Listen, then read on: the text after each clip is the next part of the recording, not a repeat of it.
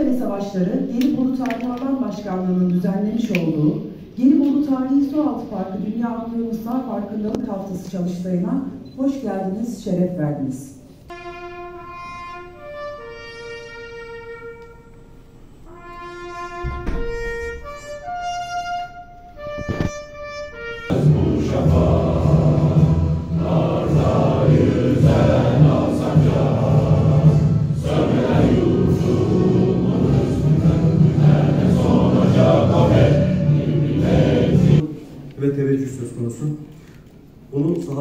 Uyum ve işbirliğinin bir yansıması olarak görüyoruz.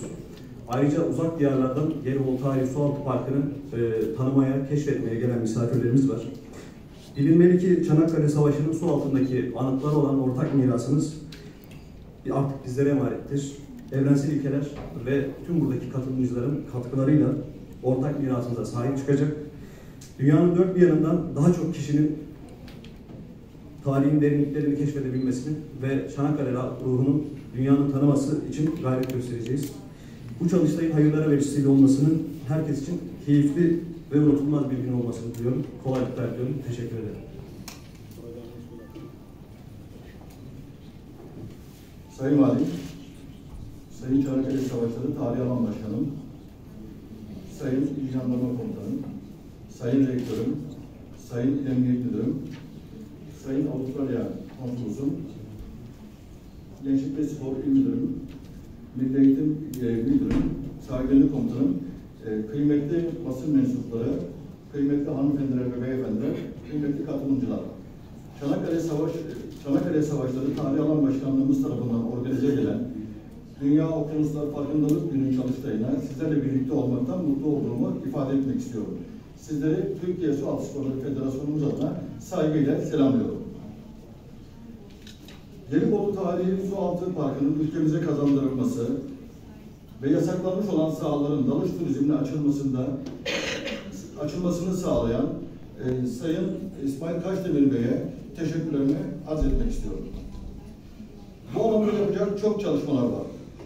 Türkiye Sualtı Sporları Federasyonu olarak biz de önemli mevzuat düzenlemesini hayata geçiriyoruz. Teknik dalışımızın 8 aylık süren bir çalışma neticesinde Bakanlığımız Hukuk Kurulu'na gönderilmiştir. Bu bilgiyi böylesine bir önemli çalıştayda sizlerle paylaşıyor olmanın onurunu yaşamaktayım. Avustralya'dan gelmiş değerli misafirler, guests from Australia, değerli katılımcılar. Bugün sizlerle burada olmaktan büyük mutluluk duyuyorum. Görevime başladığımdan beri törenlerin gerçekleşmesinde ve bu haftaki etkinliğimizde dahil olmak üzere ortak etkinliklerimizin tümünde tanık olduğum siz iş ortaklarımızın profesyonelliği, harikulade, ev sahipliği ve alışılmışın ötesinde misafirperverliğiniz için teşekkür etmeye borçluyum. Bu hafta pek çok açıdan çok özel ve.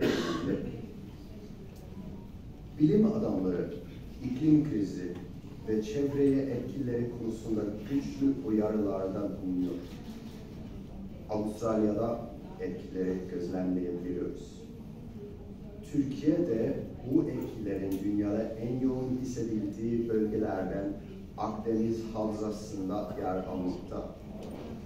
5 Haziran Dünya Çevre iklim ve çevre konusunda farkında farkındalık yaratma konusunda büyük fırsat sağlıyor. Tarih ve değerlerimizin korunması ve tanıtımı açısından Gelibolu Sualtı Milli Parkı büyük önem taşır. Bu yolda tarihi alan başkanlığının son dönemin dönemde attığı adımlar hem değerli hem de çok özeldir.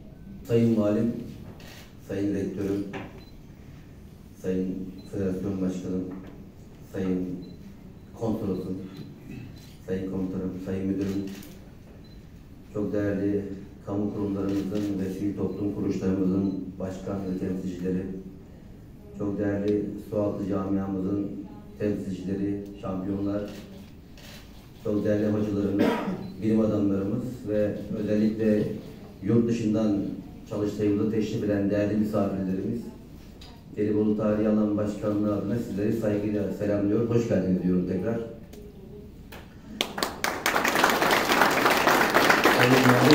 Saygıdeğer misafirlerimiz, gerçekten önemli ve büyük bir toplantı yaptığımızın farkında olarak çok heyecanlıyız. Gerçekten Çanakkale olarak çok önemli, çok büyük bir işe imza attık. Çalıştayın da bu yolculukta çok önemli bir merhale olduğunu görüyoruz. 5 Haziran'da başlayan Çevre Haftası ve 8 Haziran Dünya Okyanus Günü vesilesiyle düzenlediğimiz Gelibolu Sualtı Parkı'na yönelik ilgili sektörleri bir araya getiren, getirmeye hedeflediğimiz çal- çalıştaya tekrar hoş geldiniz.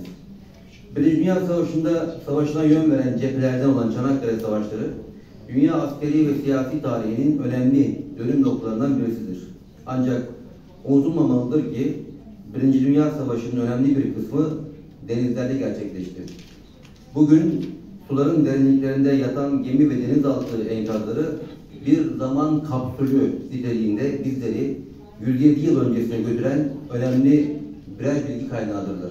Bolu Yarımadası'nın en güneyinden başlayıp Suğla koyunun kuzeyine kadar uzanan bölümde tespit edilen Birinci Dünya Savaşı batıkları beklediğimiz gibi dünya dalış turizminin en önemli destinasyonlarından birisi olun, birisi olma yolunda ilerlemeye devam ediyor. Bunun güzel bir örneği şu anda aramızda bulunan dünyanın ve ülkemizin farklı noktalarından gelerek Gelibolu Sualtı Tarihi Sualtı Parkı'nda teknik ve rekreatif amaçlı dalış gerçekleştirilen ekiptir. Aynı zamanda Türkiye Çevre Haftası etkinliği çerçevesinde temiz deniz, temiz dünya temasıyla kutlanmakta olan bu konunun hepimizin üzerine birleştiği ortak hedefimiz doğrultusunda olduğunu vurgulamak isterim.